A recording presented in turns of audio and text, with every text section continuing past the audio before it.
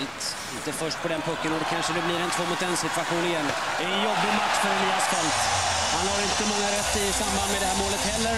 Och det är 3-0 för Ryssland. Ytterligare en kontring eh, som inte får hända. Vi är egentligen med, men på något sätt så blir det ändå en två mot etta och det är mycket slarv i det. Och så där får det inte se ut om man ska vinna de här hockeymatcherna.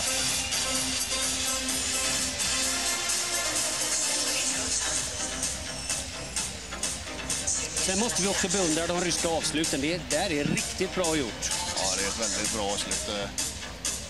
Bra skott och en väldigt fin passning också ska vi säga. Averin 3-0 för Ryssland. Och det är en hemsk start också i den andra perioden för Tre Kronor.